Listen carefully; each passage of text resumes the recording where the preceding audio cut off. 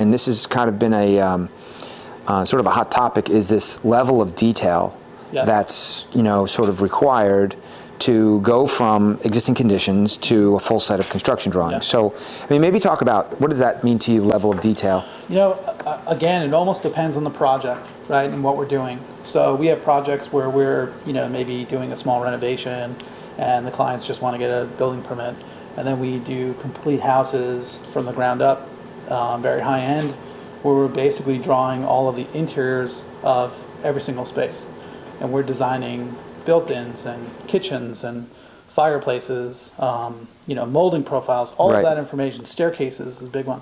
Um, so we bring all of that information and detail and build it all in Right. a 3D model in Right. our software. Right. Um, so when we get into that level of detail, we're doing sometimes full scale actual details of the molding profiles so they can bring it to a woodworking shop and Right. create those things. Right.